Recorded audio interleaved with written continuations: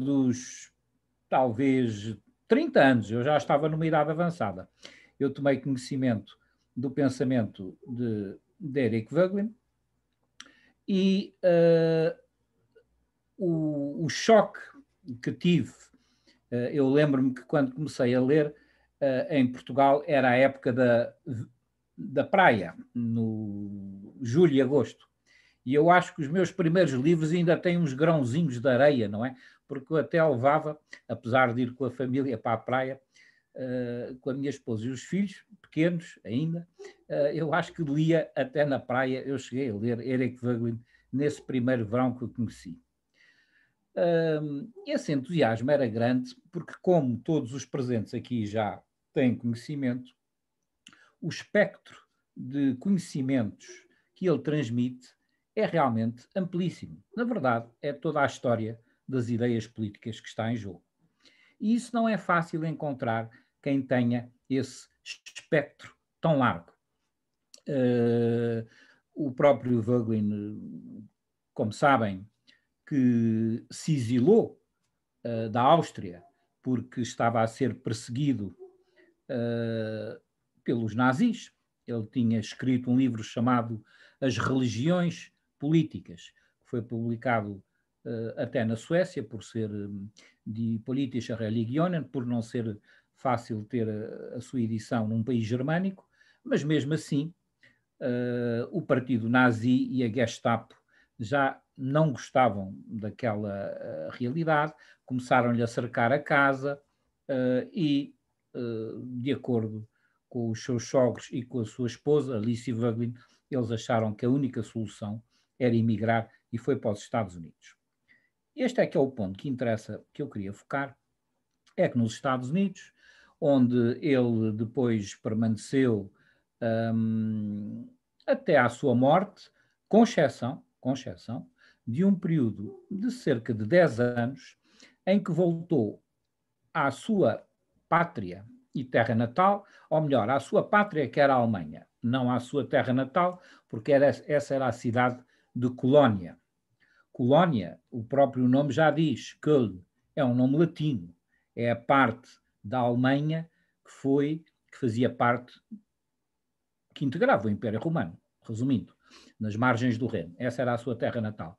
Ele foi ensinar, como digo, nesse período intervalar entre 1958, se não estou em erro, e 1967, foi ensinar para Munique, portanto, voltou à, à, à sua pátria, para, dizia ele, transmitir aos jovens de então, aos jovens alemães de, desses anos 50 e 60, enfim, a sua experiência, uh, os seus conhecimentos. Mas depois, uh, digamos assim, regressou aos Estados Unidos, em parte desencantado com o ambiente, em parte porque ele sabia que era uma, era uma missão periódica. E uh, onde eu queria pegar hoje, uh, partindo do princípio que conhecem o essencial, não vou aqui tomar o vosso tempo com aspectos biográficos de Vogelin, que conhecerão, não quer dizer que alguma eh, pergunta depois não, não seja importante, porque a personalidade traz sempre consigo as circunstâncias, circunstâncias pessoais, familiares, sociais, históricas, que ajudam a explicar o pensamento. Mas, portanto, vou dar de barato, como se diz vulgarmente, que tem essa biografia conhecida, e vou-me concentrar hoje, precisamente, na obra que ele começou a redigir quando se exilou devido à perseguição da Gestapo para os Estados Unidos e começou a redigir, estava eu na Louisiana, na Universidade da Louisiana, que, que eu há, há uns anos atrás tive quando fiz esse doutorado, tive a oportunidade de visitar e de ficar lá com bons amigos. E durante todo o tempo da Segunda Guerra Mundial, portanto 38, a Segunda Guerra Mundial começa em 1939, e até 45, hum, ele concentrou-se em redigir uma obra chamada A História das Ideias Políticas. Uh, e porquê é que isso é importante? Em primeiro lugar, essa obra ficou inédita em vida dele. Ficou inédita, uh, por, não quer dizer que ele não tenha aproveitado os conteúdos e não tenha utilizado uh, as investigações que aí depositou. Mas,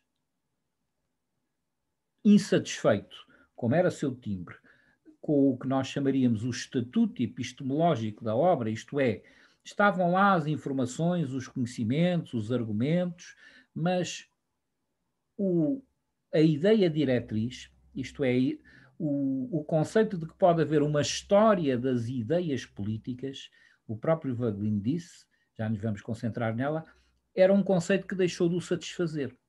Porquê? Porque as ideias são, como todos nós sabemos, são abstrações. Os conceitos são generalizações. A partir de quê? A partir das experiências. Então, a fase seguinte da obra de Eric Voegelin foi concentrar-se nas experiências que geram, eh, digamos assim, a realidade política e só depois é que se pode falar da história das ideias. Foi essa sua segunda fase que deu origem a, a talvez à obra mais monumental dele, que se chama precisamente Ordem e História, mas ou não fosse ele, Eric Voegelin, ele ainda não ficou completamente satisfeito, e como sabem, há uma literatura muito grande sobre Eric Voegelin, e no final da sua vida, ao redigir o quinto uh, volume dessa série, um, intitulou o quinto volume Em Busca de Ordem. E isso é que tem a ver com o nosso título de hoje, Globalização e Em Busca de Ordem, que é o título efetivo do quinto volume da série Ordem e História, de Eric Voegelin. Um, no, no, em língua portuguesa, curiosamente, tem sido muito mais divulgado uh, através de uh, prestimosas editoras brasileiras do que portuguesas. É, uma, é assim. Mas a língua está aqui para nos unir e, e, e nesse aspecto foi nesse sentido que a convite da E-Realizações, que certamente conhecerão, não, não, o Rubens acaba de mostrar esse livro, mas a E-Realizações tem realmente um acervo cultural, podemos dizer, de alta cultura, de autores muito bons, muito extraordinários, e, entre, e desses autores uh, clássicos, clássicos uh, antigos, medievais e clássicos contemporâneos, até, talvez sobretudo, um, foi a E Realizações que fez em língua portuguesa a primeira edição uh, da, da história das ideias políticas de que eu ia aqui falar. Depois, a Ordem Histórias também está publicada por outras editoras um, do Brasil, um, ou seja, pelas edições uh, Loyola, de São Paulo. Portanto, aqui uh, ambas, são, ambas, são, ambas são editoras paulistas. Um, em 38, repito, Vogelin chega aos Estados Unidos e traz com ele o quê? Traz com ele, digamos assim, a ciência, uh, os conhecimentos uh, de um europeu e com a formação que ele tinha pertencem, digamos, à Faculdade de Direito, não é verdade?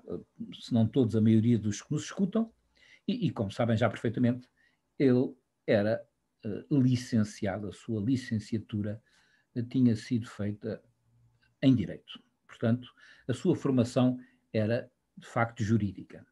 E depois, também, até pela breve nota que deu o Rubens, uh, também já sabem como é que ele se confrontou com uh, grandes, confrontou no bom sentido, com grandes mentes jurídicas uh, alemãs da época, uh, sem dúvida à cabeça Hans Kelsen, pois a teoria pura do direito saiu do estrito domínio jurídico e entrou até para o, para o domínio das ideias constitucionalistas e político-jurídicas, e Voegelin foi assistente de Hans Kelsen.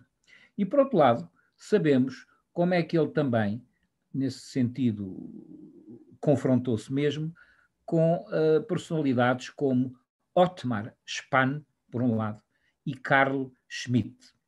Otmar Spann, não vou aqui insistir mais, mas era como que um guru nos anos 20, e ainda ficou, daquilo a que se chama o universalismo e de uma determinada recuperação uh, do pensamento cristão.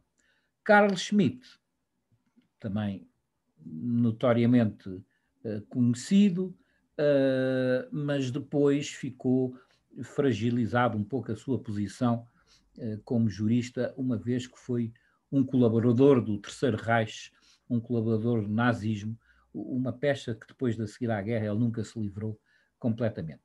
Problema semelhante ao Heidegger, que também teve essa colaboração. E, portanto, para Voegelin, é isto que eu quero dizer, seria inaceitável essa colaboração com um regime totalitário, com convicções que iam contra a dignidade do ser humano.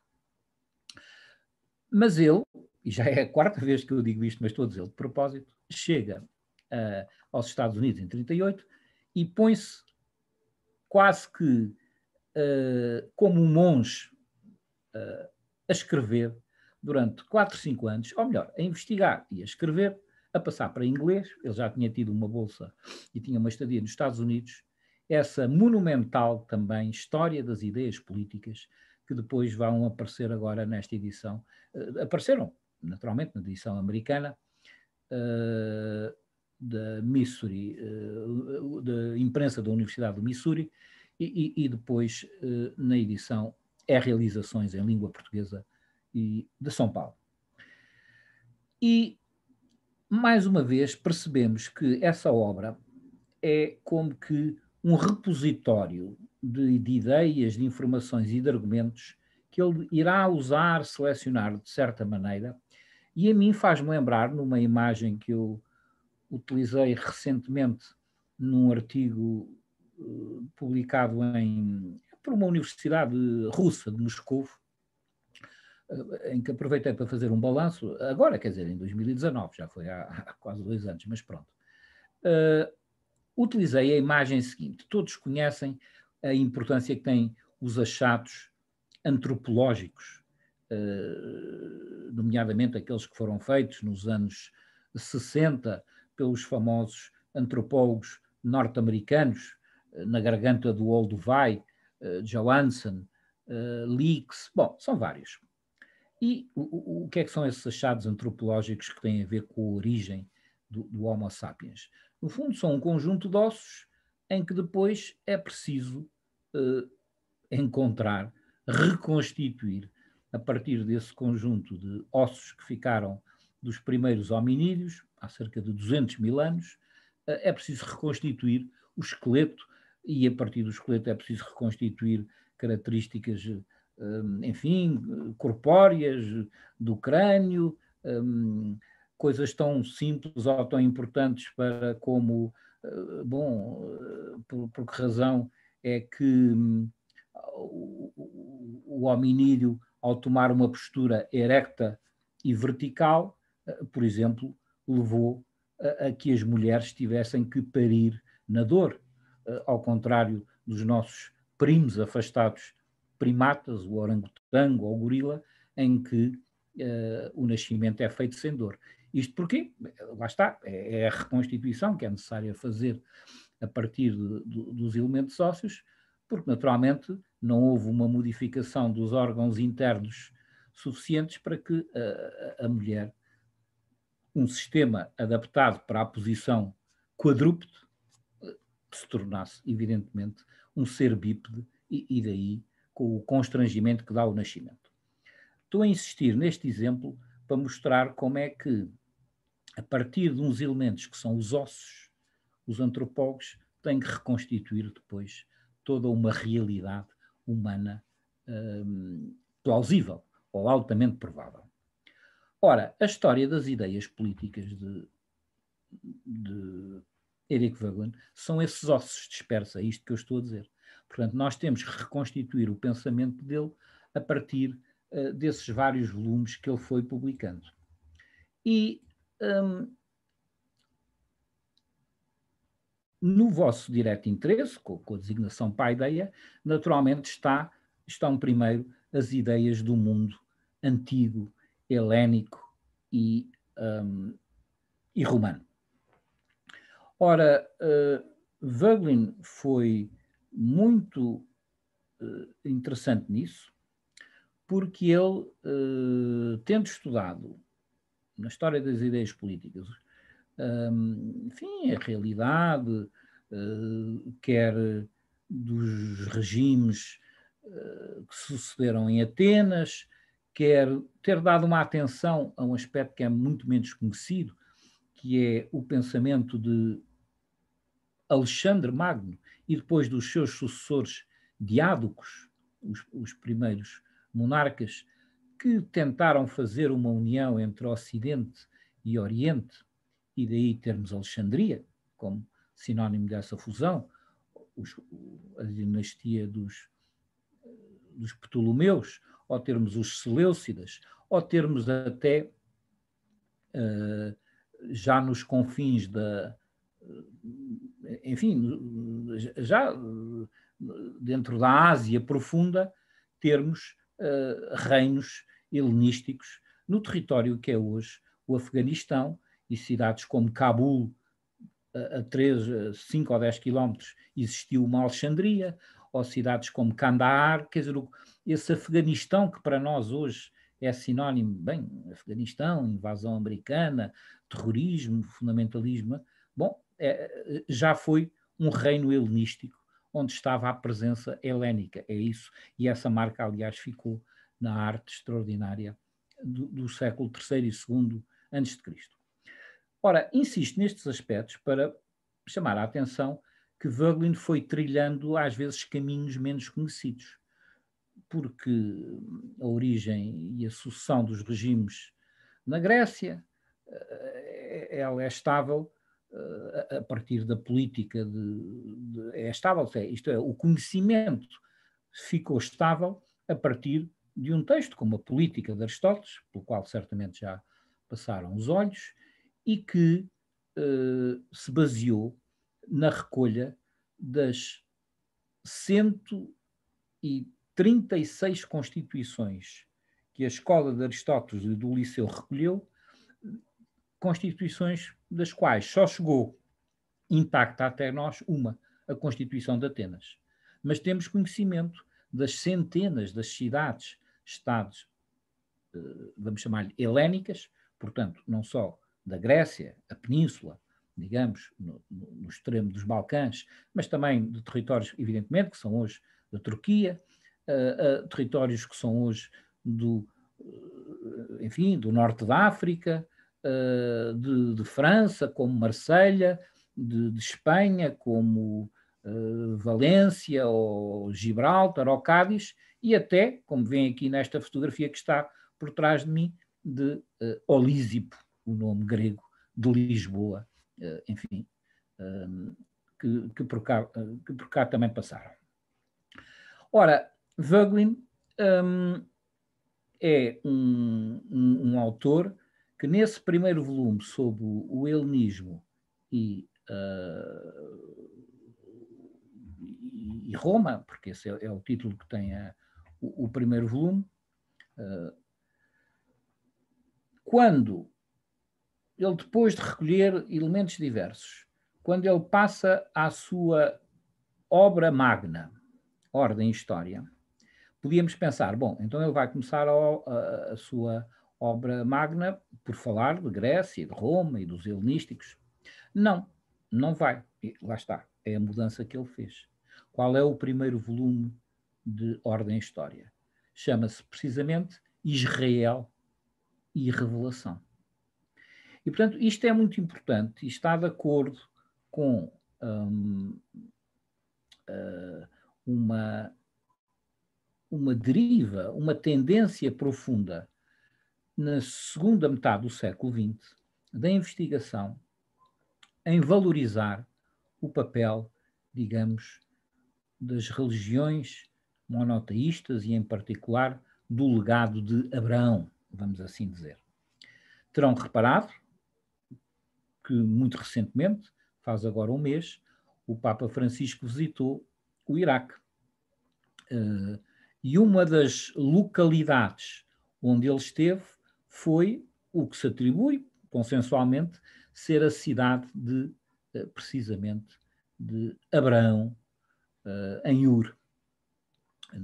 mais para o sul do Iraque. Esteve noutras localidades, mas isto o que nos interessa é esta presença de eventos, e isto para Wagner é muito importante, que se terão passado há cerca de 4 mil anos, antes do, do nosso tempo, entre 2000 a 1900, segundo as cronologias estáveis, uh, teria sido o momento em que Abraão, de, uma, de um clã nómada, abandonou a sua terra natal à procura, como todos nós sabemos, de Canaã, da terra prometida.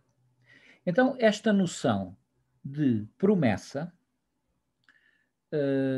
esta noção de que há um, uma aliança, uh, a promessa é a promessa feita por, por Deus, este clã, este grupo hebraico, uh, que existe e que é muito estranho porque há um grupo sem, sem terra.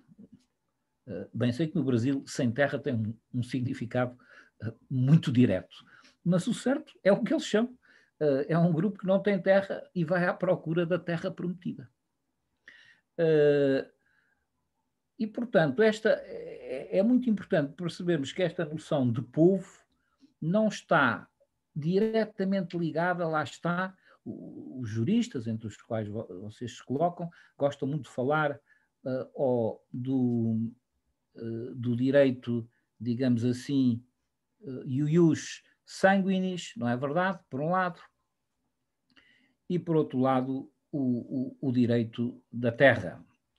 Uh, ora, Voegelin disse ao, ao, colocar a sua obra magna, ao principiar a sua obra magna por Israel e a revelação diz: não, o primeiro contrato, digamos assim, a primeira aliança, porque é isso que significa o termo hebraico berith, a primeira aliança não é com o sangue nem com a terra. A primeira aliança é com uma entidade que promete a dignidade humana. E, isto é importante. É isto que é a revelação. E isto é que torna o povo hebraico único entre os impérios cosmológicos e as nações que se encontravam.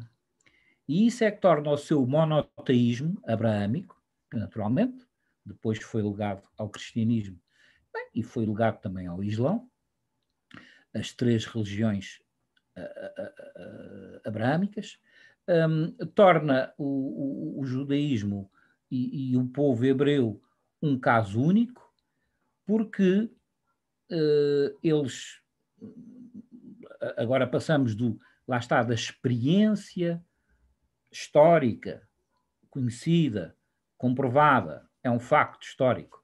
Abraão sai duro da Caldeia e dirige para o que se chama Canaã, Palestina.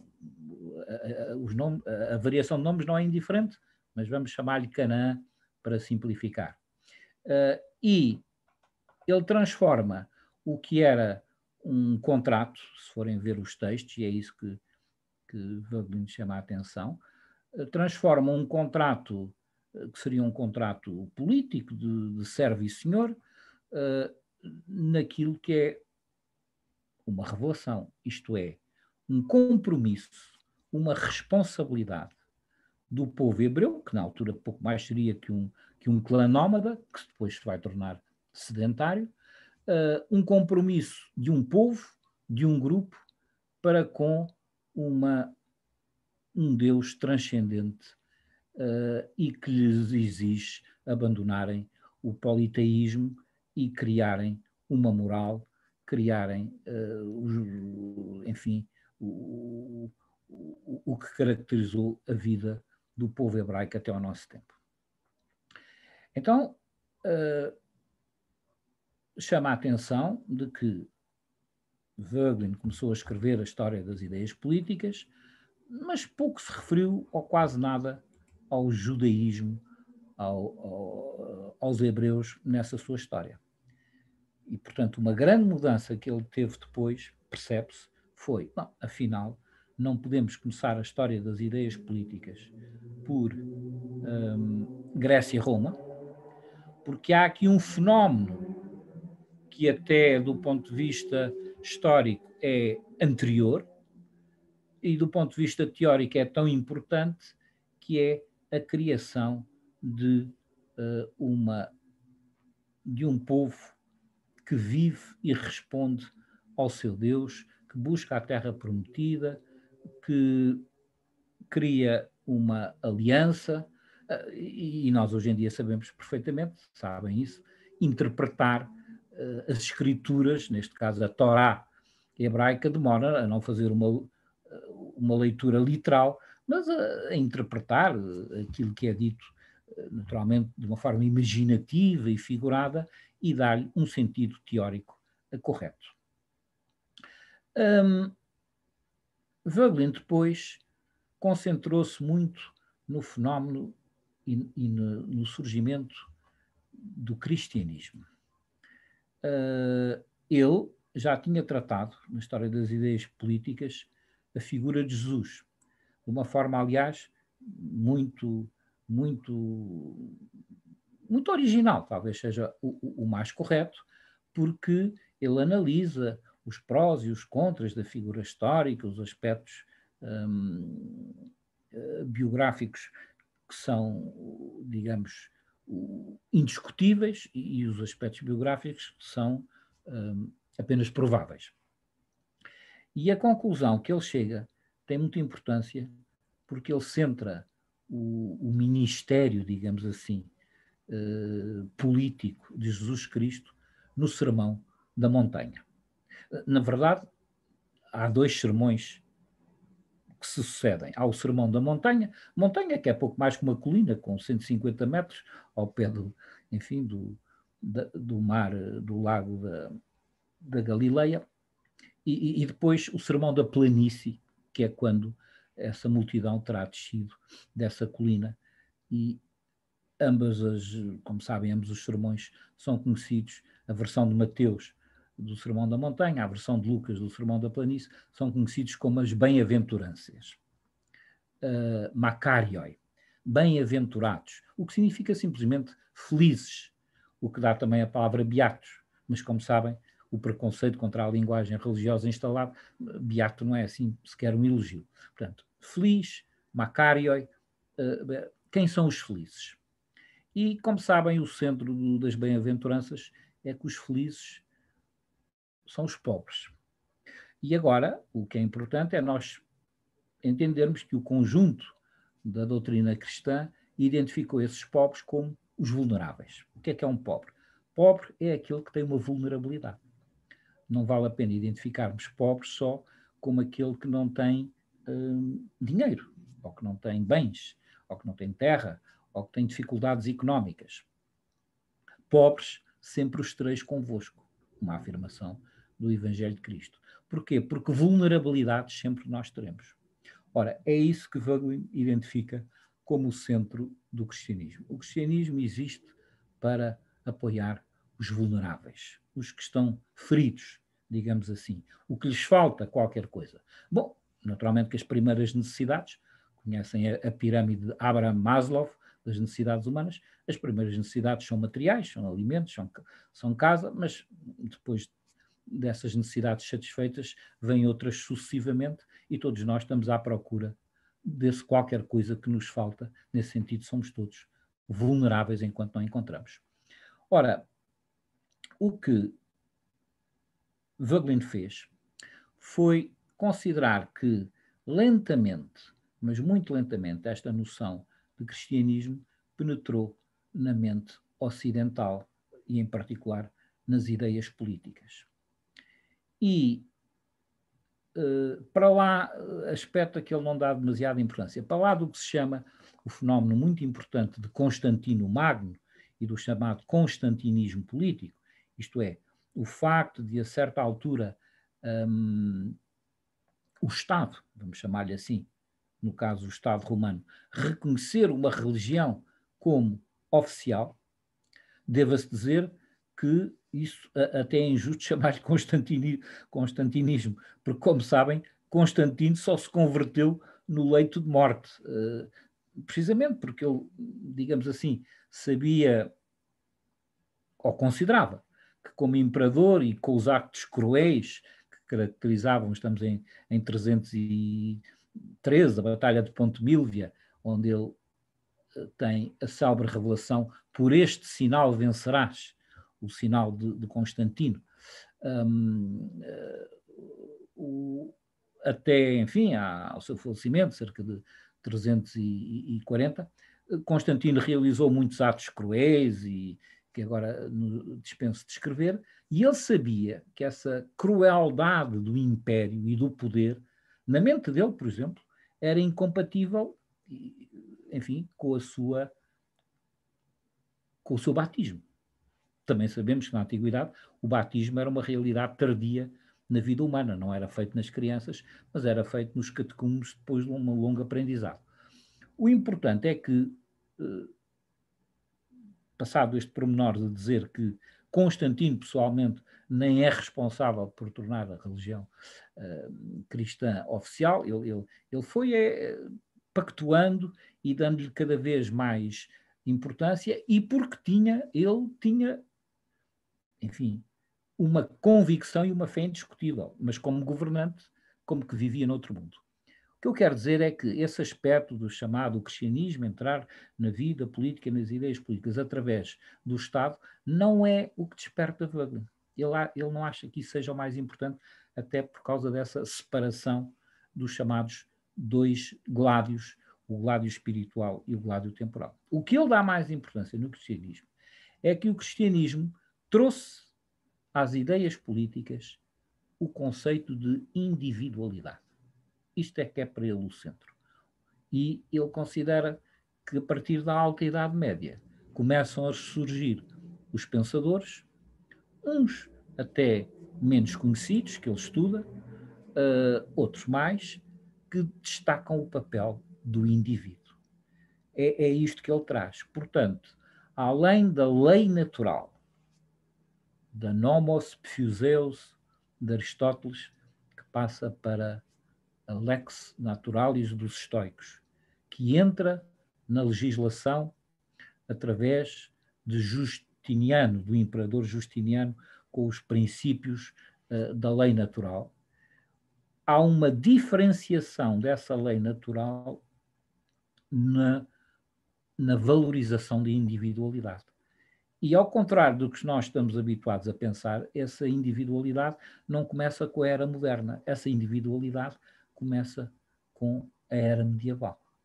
Os medievais são, vamos dizer, entre aspas, modernos nesse sentido, porque trouxeram consigo o valor infinito de cada pessoa e de cada indivíduo. E uma das passagens até mais comovedoras, mais interessantes da história das ideias políticas é o capítulo curto, tem umas 10, 12 páginas, na, edição, enfim, nas edições habituais, sobre Francisco de Assis.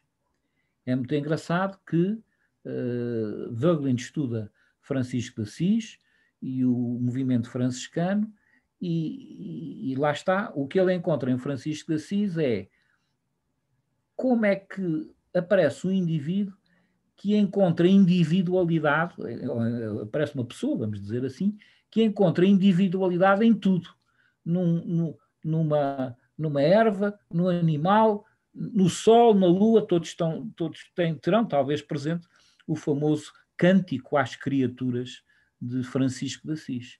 Uh, o irmão Sol, o irmão Lua, o, irmão que é animal. Porquê é que há uma fraternidade? Porque têm todos um caráter de individualidade que naturalmente ele via espelhado, sobretudo no homem, feito à imagem e semelhança de Deus. Ora, antes de Francisco de Assis, depois de Francisco de Assis, eh, naturalmente que este conceito de individualidade foi muito reportado e, segundo Vogelin, ele atingiu o seu ápice em Tomás de Aquino. Por isso é que ele valoriza muito a figura de Tomás de Aquino, porque foi aquele que soube conciliar uh, a herança greco-romana, vamos dizer-lhe assim, portanto, uh, o pensamento de Aristóteles o, e de Platão, de, a tradição da lei natural com a revelação judeo-cristã, com a revelação judeo-cristã, e aliás, uma das partes significativas, uma das questões, aliás, a maior questão, maior em, em, a, a, mais ampla eh, ou a mais longa questão da Suma Teológica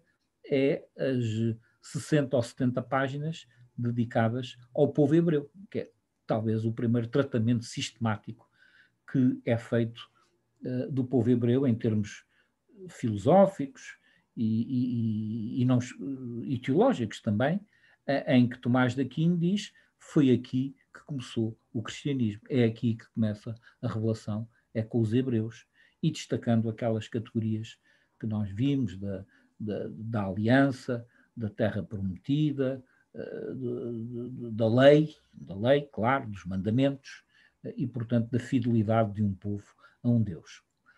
Um, talvez eu esteja a ser um pouco descozido nestas considerações, mas parece mais interessante para quem já está familiarizado com o pensamento de Wöglin lançar ideias assim mais soltas e espero que diferentes do, do que estar a fazer uma abordagem uh, muito sistemática. Portanto, legado greco-romano, legado cristão, legado medieval, e depois chega à modernidade. Uh, a modernidade, de facto, para Wöglin, é, quer na história das ideias políticas, e, e depois ele não a tratou mais sistematicamente, portanto, não é a última palavra, mas na história das ideias políticas, ele tem uma avaliação negativa da modernidade que se vai refletir numa obra também editada no Brasil, chamada A Nova Ciência da Política, pela Universidade de Brasília, dessa coleção. Possivelmente terão outros volumes, porque é uma coleção realmente. Enfim, devo dizer que nem sempre as traduções são as melhores. Olha, esta em particular não é grande coisa. Tem traduções um bocadinho fracas. Mas, enfim, mas, mas tem pensadores significativos, a coleção da Universidade de Brasília. E, e aliás, o tradutor de, de Voegelin foi.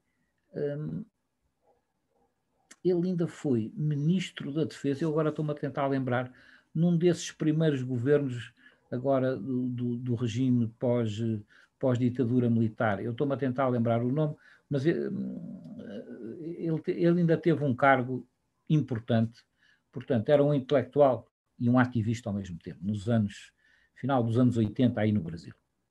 A nova ciência da política.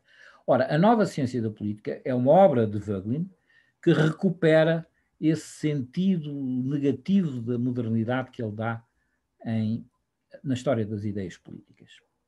Uh, e ele aqui usa um conceito dos escritores germânicos, que não é original, uh, que é a diferença entre movimentos de cultura Uh, e, e, com isto eu estou quase a acabar esta primeira, uh, esta minha intervenção, para depois dar lugar a um debate, uh, movimentos, de, movimentos de cultura explícita, de, da alta cultura filosófica, teológica, científica, jurídica, e os chamados movimentos subterrâneos, ou do subsolo espiritual.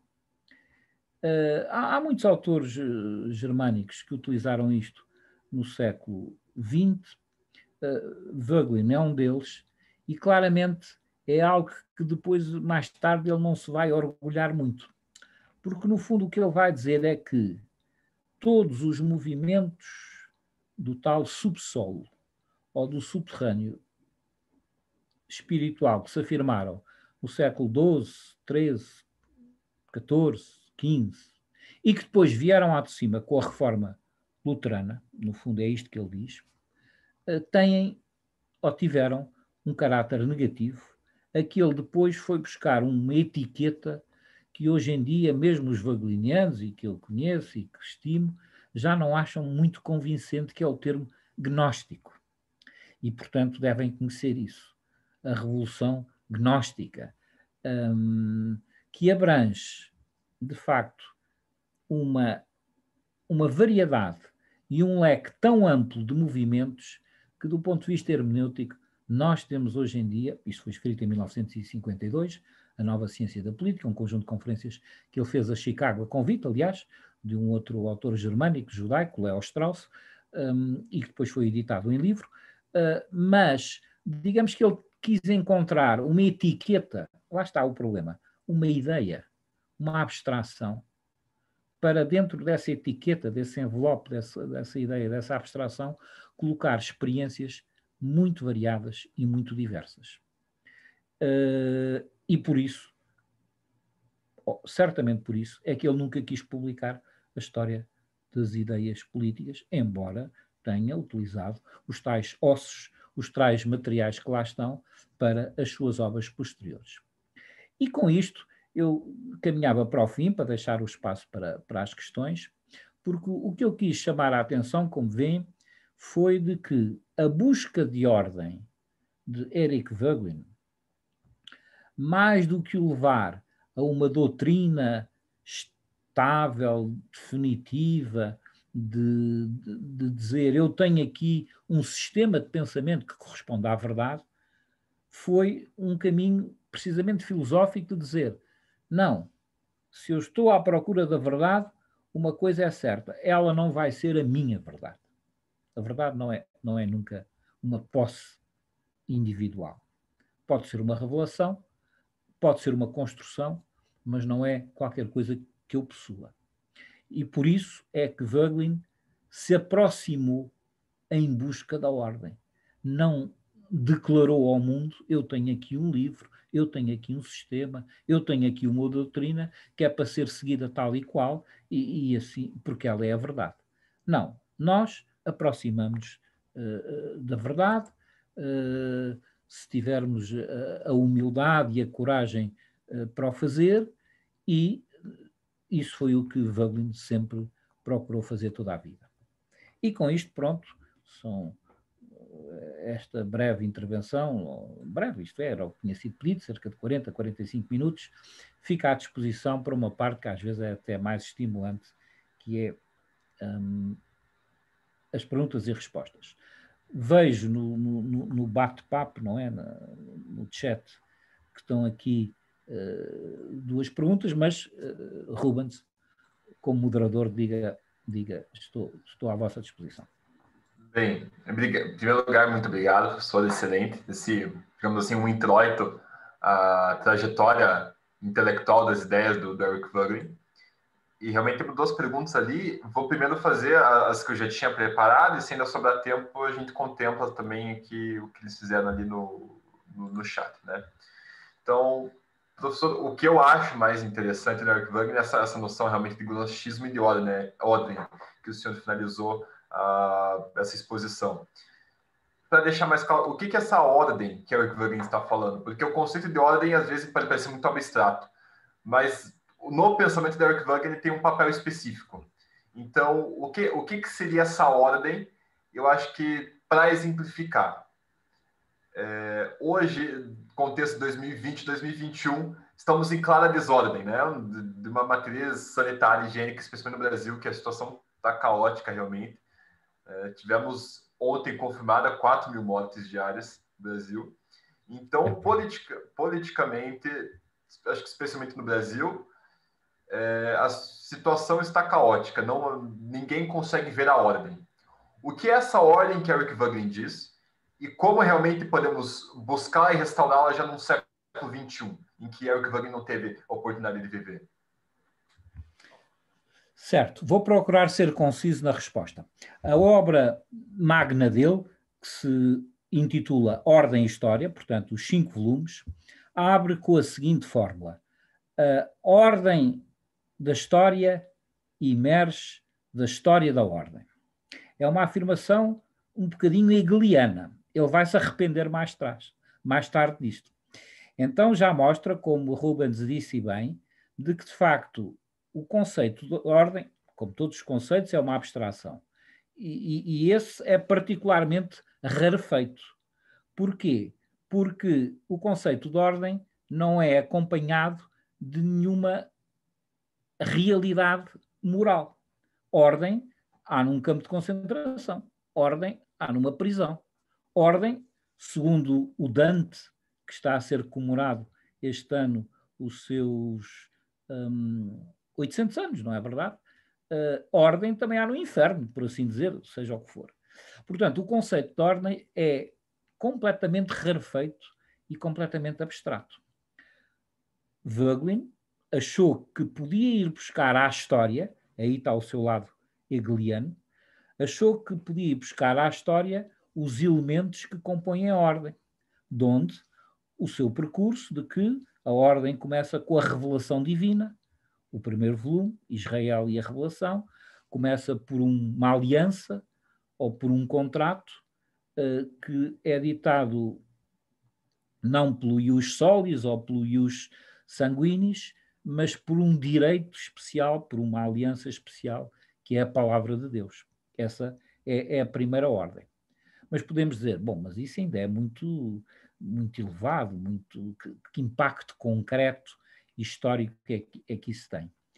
A ordem, para ele, depois vem a ser a lei natural. Isto é, é possível encontrar preceitos eh, que correspondem, como diz o direito justinianeu, uh, uh, no fundo, é tratar bem os outros, não fazer mal a ninguém, dar a cada um o, o, o que é devido, os, os três preceitos da lei natural. Ordem, ainda depois, como veio dizer o cristianismo, é respeitar a dignidade de cada pessoa humana. A dignidade de cada pessoa humana. Uh, sem isso também não há ordem. Se, se alguém cai fora do barco e, e é excluído, uh, à partida, uh, não, é, não é que as pessoas.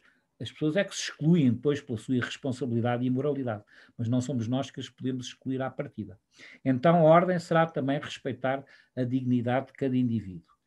E depois, ordem, eu não entrei nesse momento na minha exposição, mas isso começa a surgir a partir do contratualismo do século XVII, que é o relançar do mundo ocidental e do mundo europeu, uh, depois estendido ao Novo Mundo, América do Sul, América do Norte e, e restante globo. Ordem depois serão os direitos do homem, isto é, os direitos que aqueles autores do século XVII, o Hobbes, o, o Grócio, o Locke, Uh, até o Descartes, que é pouco conhecido, mas enfim, não é o mais significativo, evidentemente. Enfim, todos esses autores seiscentistas, depois do espetáculo terrível que foram as guerras de religião, de mais de um século de guerras de religião na Europa, uh, chegaram à conclusão: não é, nós não podemos ir buscar diretamente à religião a ordem, a religião deve ser neutralizada na praça pública, a cada um a sua religião. Estávamos a falar da guerra entre cristãos, não é? Que se matavam em nome de Deus, protestantes, católicos, eh, fossem luteranos, os protestantes ou calvinistas, ou ainda outras designações, e, portanto, eh, essa, esse novo avanço foi a concepção dos direitos do homem contratuais, que depois vão receber uma expressão, uma fórmula no, no, Bill of Rights dos, dos, ingleses do século XVII, no Bill of Rights americanos e, por estranho que nos possa parecer, na Declaração dos Homens e Cidadãos da Revolução Francesa. Não se esqueçam quem é que promulgou a Declaração dos Homens, a Declaração dos Direitos do Homem e do Cidadão, uh, promulgada em, em, em 4 de outubro de 1789. A promulgação é do rei, foi o rei Luís XVI. Portanto, a revolução já estava em curso mas era a fase, vamos chamar liberal, vamos simplificar, da Revolução Francesa. Depois é que vem a fase jacobina totalitária e depois vem a fase napoleónica, enfim, ditatorial. É o percurso das várias revoluções. Foi assim na Revolução Inglesa de Cromwell, foi assim na Revolução Russa de Stalin, que aliás Vogelin chama bem isso a atenção. Portanto, a ordem é esta para, Vogelin, começa numa revelação divina, passa a ser uma lei, é diferenciada como lei natural, é diferenciada no valor do indivíduo e depois é diferenciada no valor da coletividade, ou seja, não só dos direitos do indivíduo, mas dos direitos de cada um dos indivíduos que são direitos do homem ou, ou direitos do, do, do homem ou, ou, do cidadão. E a partir daqui, depois é que podemos avaliar os regimes políticos, se eles estão a, a respeitar uh, estes, estas várias noções de ordem. Para já era isto que eu diria, não, não disse tudo o que queria, mas é para não, para não me alongar. Perfeito, professor. Agora, partindo da primeira pergunta ali do, da, da conversa, é, foi perguntar a respeito da transcendência. E do pouco que eu li, pouco relativamente ao tamanho da obra de Wagner, obviamente, do pouco que eu li de Wagner, ele enfatiza muito essa questão de transcendência. E quando se usa a palavra transcendência, tem-se imediatamente aquele preconceito religioso da linguagem religiosa que o senhor disse. Mas é interessante notar que Wagner, eu escutei isso num curso hoje a respeito do, do pensamento de Wagner, ele não fala do transcendente, ele não fala sobre Deus, mas ele fala da, da transcendência, da experiência do homem para com Deus. E essa transcendência, que eu acho que é melhor ilustrada na, na questão da, da, da, revelação de Israel. A pergunta, professor, como, qual que é o papel da transcendência no pensamento de Eric Wagner e como que ela adquire relevância política? E por que ela realmente é importante para que se tenha ordem na sociedade? Certo. Olha, o termo transcendência, né, dentro do vocabulário filosófico do século XX, um, é, mu é, muito identificado com, enfim, com, com, com, escolas de autores, dos quais talvez o mais evidente seja Karl Jaspers, que escreveu uma obra precisamente sobre isso. Ou seja, é de um pensamento existencial, vamos chamar-lhe assim também para simplificar, que eh, considera que, para além da experiência humana, existem realidades eh, a, que, a que Karl Otto, um outro autor importante, eh, tinha chamado o, o, sublime, o luminoso, o sublime, o sagrado, uh, e que uh, ultrapassam, quer dizer, a manifestação, essas manifestações de experiência ultrapassam os limites do ser humano. Voegelin vai buscar esse termo transcendência porque, precisamente, ele não está, enquanto fala como pensador político e, e como filósofo, ele não se identifica com nenhuma fé.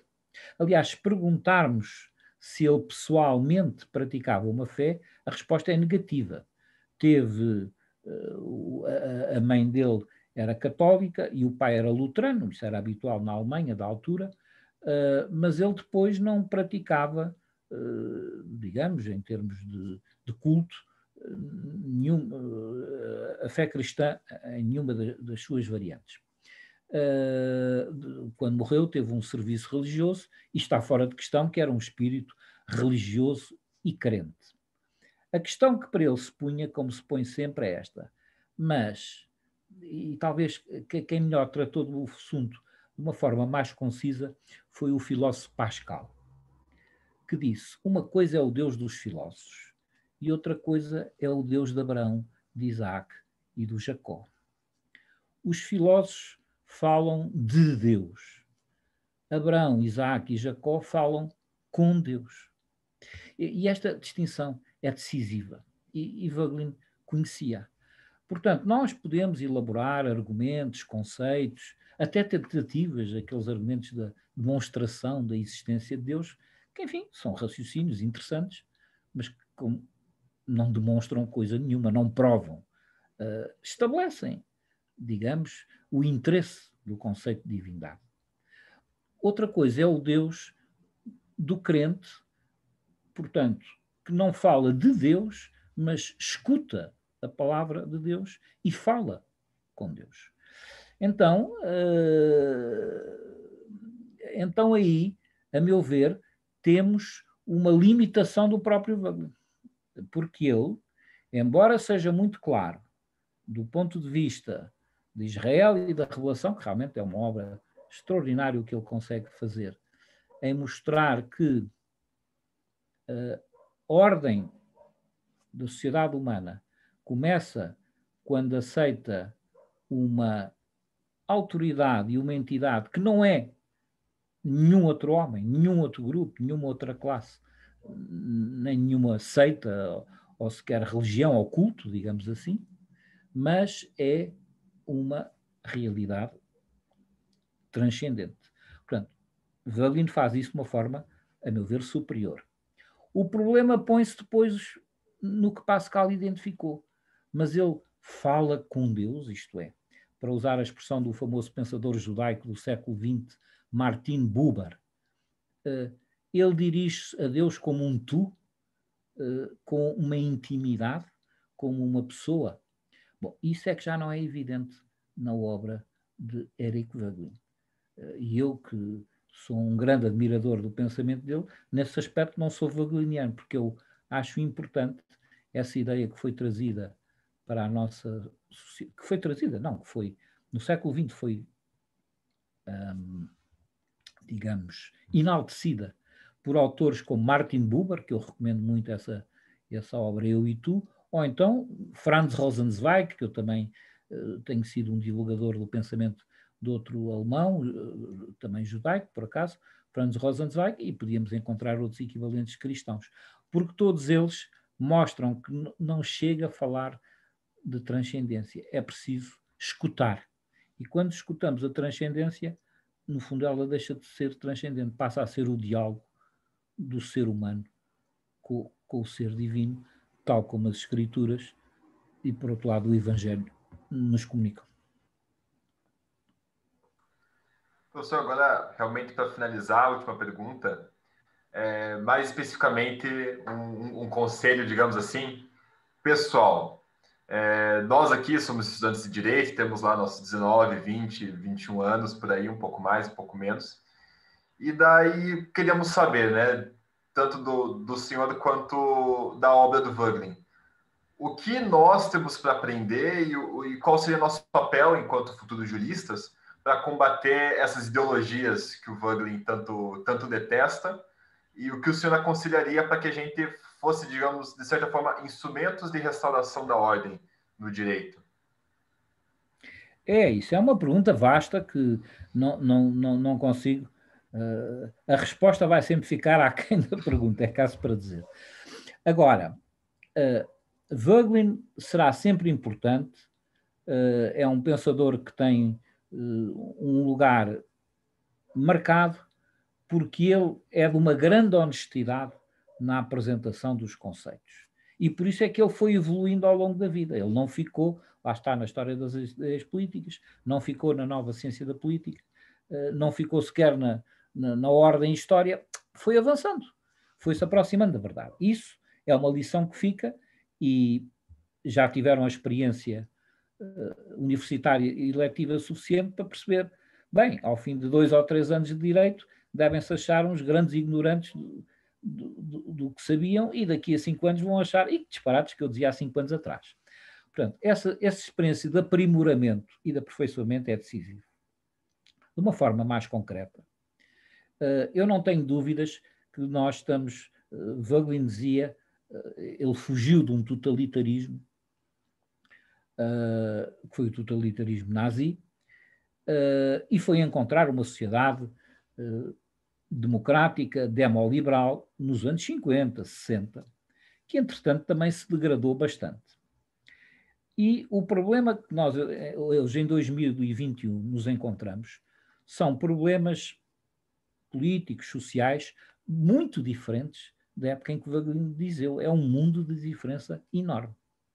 Porque nós temos, aparentemente, democracias estabilizadas, pelo menos o direito de voto, estamos a falar aqui do, do Ocidente, da, de, de, da América do Norte, de, enfim, da América do Sul, da, Europa, depois de alguns países asiáticos, de alguns países africanos, e aí, nesse mundo real da democracia liberal, funciona, uh, funcionam as liberdades mínimas, funcionam uh, os, os, direitos uh, civis, funciona uma economia de mercado.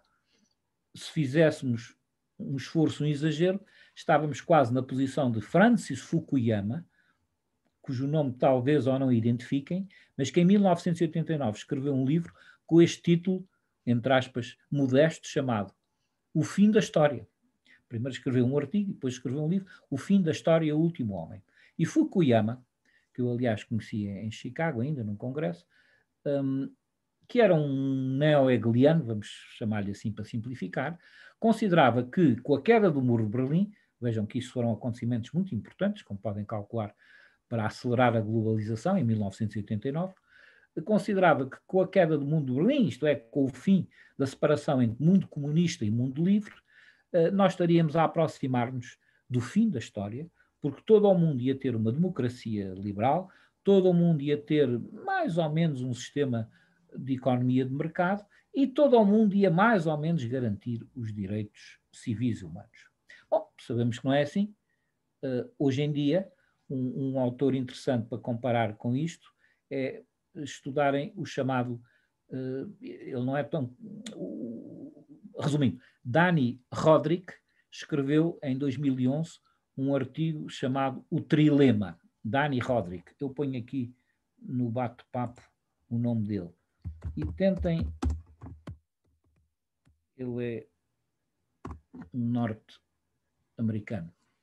Mas possivelmente é de origem portuguesa ou espanhola, porque ele é turco, Rodrigo Rodrigues, percebe-se que ele é Daniel Rodrigues, eu já disse. Portanto, deve ser um antigo sefardita expulso de Portugal ou de Espanha, que foi para a Turquia e depois agora emigrou uh, uh, para os Estados Unidos. Globalização, lá está. Nós temos que sempre procurar estas origens comuns. O que é importante é que ele diz: no mundo global de hoje, há como que um, um, um triângulo com três vértices. Um chama-se soberania, outro chama-se globalização e outro chama-se democracia. E o que é que é o trilema? Nós sabemos o que é um dilema. Um dilema é onde é preciso optar entre um de dois. Um trilema é preciso optar, neste caso, dois de três. Ele diz, ele diz Roderick, as sociedades atuais, em 2000, ele está a escrever em 2011, mas pronto, é a atualidade, 2011, 2021. As sociedades atuais não conseguem ter ao mesmo tempo, os países, as nações, soberania, globalização e democracia. Então têm que escolher. Por exemplo, a China escolheu dois. Escolheu ter soberania e escolheu ter globalização. Não escolhe muito os direitos humanos. No Ocidente, nós continuamos a escolher uh, os direitos humanos, talvez em primeiro lugar, e depois há uma dúvida se é a soberania, se é a globalização. Vejam a oscilação norte-americana. O Trump dizia: não, não, primeiro está a soberania, direitos humanos e soberania. A América, make America great again. O resto logo se vê. Mudança para Biden. Não, não, direitos humanos e depois está a globalização. Este é o problema das sociedades ocidentais. Não está para elas fácil escolher, dentro deste trilema, mantendo-se a democracia, os direitos e as liberdades, se vão apostar mais na soberania, se vão apostar mais na globalização. Por exemplo, na, uh, na Europa existem muitos movimentos chamados populistas de direita que estão uh, a afastar-se alguns da, da União Europeia. Na América do Sul, e aí o Brasil integra-se do ponto de vista politológico na América do Sul, acho que o problema é diferente, que é o problema dos caudilhos. É a figura do caudilho que nunca desapareceu completamente e, e que é a figura presidencial de todas as repúblicas sul-americanas. E, portanto, a política aí tem um elemento que não existe tanto na Europa, nem existe nos Estados Unidos, que é o elemento do, do líder, do, do caudilho, uh, daquele que, uh, enfim, uh, em vez de serem as forças partidárias que segregam o chefe, o chefe é que segrega um partido. É isso que é o, que é o caudilismo. E, portanto, o, Brasil possivelmente atravessa esse problema, não é? Não há uma estas ideias de, de, alta cultura, digamos assim. Eu vejo aqui o, uma das perguntas que é a questão da uh, sobre a alta cultura. Alta cultura, no fundo, são, são estes conceitos uh, cientificamente e academicamente estáveis, que são muito diferentes das emoções e das paixões das populações. E atenção, que não se pode deitar fora as emoções e as paixões das populações, porque essas têm o seu valor. Normalmente a população sabe o que não quer eu diria que basicamente o que a população não sabe é o que quer. Porquê? Porque isso exige a pessoa investigar, estudar, refletir. Mas as emoções populares são importantes, é o que não quer. Depois há os manipuladores de emoções, os ditadores. Esses conseguem levar a população a um unanimismo, eh, como mostra o Stalin ou Hitler, absolutamente eh, espantoso e, e, e, à custa de violência. Claro que essa unanimidade só se consegue à custa de violência. E, portanto, uh, embora eu me tenha desviado um bocadinho da, da, questão, eu penso que em 2021 nós temos que ter presente o, o trilema de Roderick e que aquilo a que se pode chamar ordem só é conseguido se nós compatibilizarmos desde a revelação até aos direitos do homem. Revelação, lei natural, dignidade individual e direitos do homem. Bom, isso é difícil porque o preconceito religioso não só se instalou, como está abusado. Vejam o problema dos movimentos evangélicos, lá está, quer nos Estados Unidos, quer penso que também no Brasil, na Europa é menos evidente porque nós estamos mais vacinados, já fizemos as nossas guerras de religião há, há, dois séculos atrás e, portanto, estamos mais vacinados contra o fenómeno evangélico, mas o, o evangélico, a certa altura, é um fundamentalista, é um fundamentalista cristão, não é? Com, com todos os problemas enormes que isso põe. Uh... Perfeito, professor. Agora, só, só, de curiosidade, em qual obra, mais ou menos, que o Wagner fala de lei natural? O, que fala mais incisivamente? Ah, sim, é, é, no, é, um, é um dos artigos uh, de, que vem na coletânea chamada Anamnesis. Essa não está traduzida para português, mas é uma tem, obra importante dele. É o Anamnesis. Tem português. E, e, se quiser, Ruben, eu pego aqui na minha. No, no, eu tenho isso em, em quer dizer, PDF. em PDF e essas coisas, e também tenho, e têm saído, aliás, hoje em dia o Google é muito fácil fazer a pesquisa, têm saído bons artigos sobre essa questão da lei natural, até mesmo de um estudioso brasileiro, que eu não me lembro do nome, eh, eu li há quatro ou cinco anos um muito bom. E, portanto, é na anamnesis que ele tem uh, o estudo da nova, nova, nova Psiseus. Muito interessante. Isso é indispensável para perceber. Perfeito. Então, professor, agora já caminhando para o nosso encerramento, queria, em primeiro lugar, agradecer. Em segundo lugar, tirar uma foto para deixar registrado aqui o evento. Se alguém quiser ligar a câmera, fica à vontade. Vou tirar uma foto. E daí, para garantir que ninguém pisque também. Enfim, um, dois, três.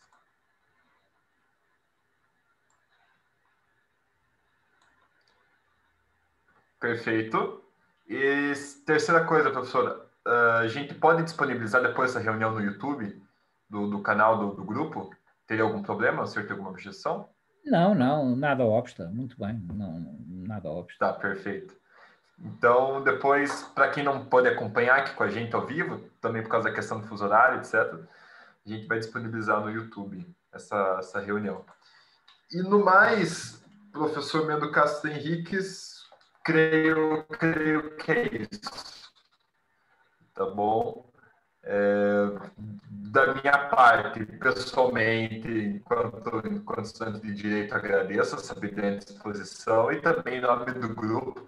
Ali, as, as palavras que o Almir, um colega meu aqui do curso, colocou numa pessoa da, da sua envergadura intelectual aqui presente, mesmo que virtualmente, para conosco aqui da UFPR, é, é, algo monumental, algo histórico, algo excelente. Então, nós agradecemos muito de verdade e também agradeço pela disponibilidade de estar aqui conosco e por compartilhar conhecimento, professor. Olha, eh, também da minha parte uma saudação